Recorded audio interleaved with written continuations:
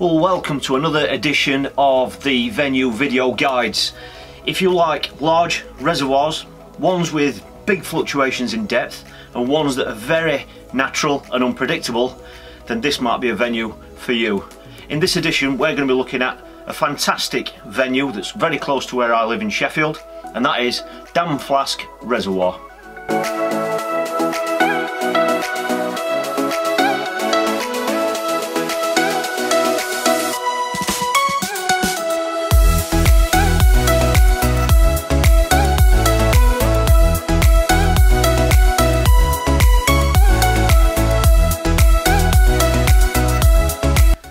If you've been an angler since you were very, very young, then I'm sure you can always relate to venues that were close to your home, that you could get to before you could drive, before you had a car. And this is one of those venues for me. I fished here hell of a lot as a kid, um, at junior level and intermediate level. They used to run junior matches up there as well, and we used to go up there on the bus. It's about six or seven miles away out of um, Sheffield city centre, but there was a bus that used to run up there every two hours I think it was. We used to go up there with our plastic seat boxes. And it is a day ticket water but because it's such a big reservoir there are huge fluctuations in depth. So as ever with venues like this location is very very important. When you first arrive at the reservoir you've got the right hand bank and that's really referred to as the boathouse side. Now that is where they used to have the permanent pegs. They used to run matches on here quite quite regular years and years ago and this is where the permanent pegs were. That was like a permanent match stretch if you want to call it that. But unfortunately they don't run matches there anymore. There's just really one big match every year and that's known as the Pennine Championship. As you get to the far end of that bank it then gets up to the neck end and this is the area where the fish generally go to spawn and it's as you'd expect it's where the river comes in that feeds the reservoir and that is where the shallower water is the road actually goes all the way around the reservoir so you can drive all the way around. And then when you come back out of the neck end going back towards the open water we come to a stretch there what's referred to as the plantation.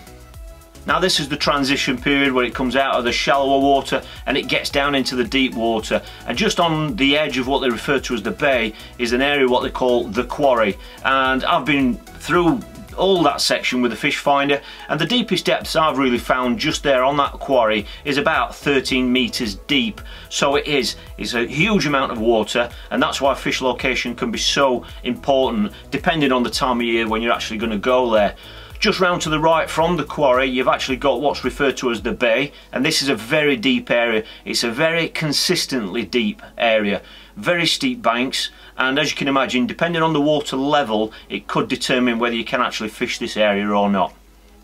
And then when you come round from the bay. As you go back towards the dam head that is where the ticket machine is located. It is a day ticket water. It's £4.90 for a full day ticket but they do have concession prices on there. But they do also have the offer and the opportunity to get a two month ticket or a six month ticket. So if you're you know you're able to get up there quite regular then that could work out a lot more economical if you're going to be having multiple visits.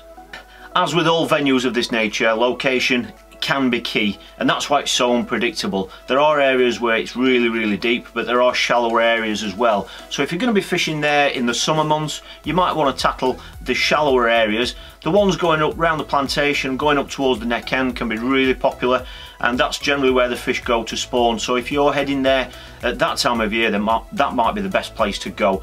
On the flip side of that, if you're going to be going there in the colder months of the year, then you might want to target the deeper water because that might be where the fish are actually holed up. Now it is classed as a natural venue even though it's a man-made reservoir so the stocking levels in there and the species in there are very similar to reservoirs of this same nature and depending on what you're targeting it might reflect in what kind of a tactic and approach you're going to adopt. Now there are lots of fish to be caught on float fishing tactics, either with a wiggler or the pole. Fish do come close in and that can really be a fantastic way of catching plenty of fish. But as regards feeder fishing, the type of gear that you might need really depends on the area that you're going to be fishing. Now if you're fishing in the deep water, you often find that you don't have to go far out. As far as I know, I haven't seen any long range fishing on this reservoir. So the maximum sort of ranges you might want to be fishing are between 40 and 50 metres. So if you're targeting the shallower water, so if you're around the plantation at certain times of year or going up towards the neck end, So just a nice open cage feeder like that is ideal if you're not tackling the really, really deep water. Now if you are going to be tackling the deep water, you're better off doing that with a different sort and different style of feeder. The cage feeder can be great, just a normal side weighted cage feeder can be great, just to get one or two fish in your peg and a bit of bait falling through the water. But when you're targeting areas that could be up to 12 and 13 metres deep, then you need a feeder that's a little bit more encapsulated to try and make sure that the ground bait is still in the feeder when it reaches the bottom. Any sort of an enclosed feeder, a simple plastic feeder like that is ideal that sort of feeder is the same style that I've used when I've been up there. This particular one's 45 gram and that's because not because you're casting a long way it's just because it's heavier it's going to get down to the bottom quicker because on some of the pegs it might be taking 20 seconds or 25 seconds just for the feeder to hit the bottom other sorts of styles of feeders you might want to try ones that I've used up there uh, or a bell feeder they can be great feeders for this sort of fishing because again they're so encapsulated and they can be good for speed fishing as well if you are catching the roach and perch or another type of feeder is the dome feeder something that's going to you know really protect all the bait um, and tr try and make sure it's intact for when it reaches the bottom so when you're tackling this deep water, just have a think about the ranges that you're going to be fishing. So you can catch fish in the shallower water closer in. And for that sort of fishing you'll just need an 11 foot rod just coupled with a 3 or a 4000 style reel. It's just matched perfectly with an 11 foot rod. I use the XS Slim. It's perfect on that sort of a venue.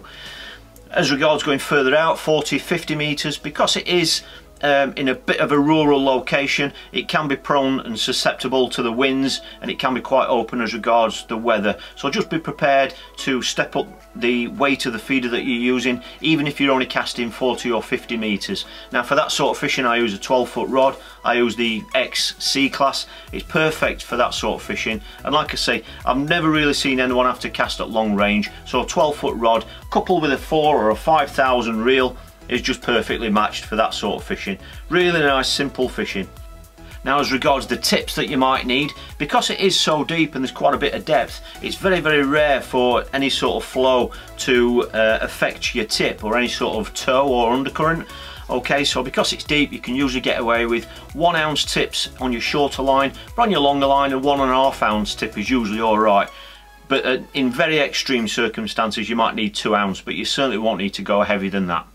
I've usually gone up there on one of two occasions. One is to just go up there and fish for bites and if you just want to do that and target roach, perch and skimmers as well and just anything that swims then you're far better off just going down a cereal type ground bait mix just because it will catch you anything. It'll be nice and active so it will attract roach and the fish that live higher up in the water and if you're going to fish like that then just fish with smaller natural baits. Maggots, casters and pinkies are ideal just with a nice dry mix and I'm sure you'll just you'll get bites no matter where you fish if you want to fish just for bites.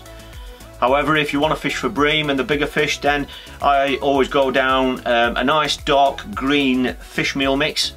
And again, I use chop worm. I mean, it's a typical bream bait, but I like dead maggots as well. But I have also caught on corn up there as well, which I think really is a good holding bait if you're targeting bigger fish. And I think if you are fishing in those extreme depths, then obviously light levels are a little bit reduced down there. And I think a nice bright bait that's going to lay on the bottom for bigger fish is, is perfect for that sort of fishing. And I have caught bream on corn up there, so I'd always take a bit of corn if you're going to be targeting those bigger fish. It's a very picturesque, rural, exciting and unpredictable venue and that's reason why I love it.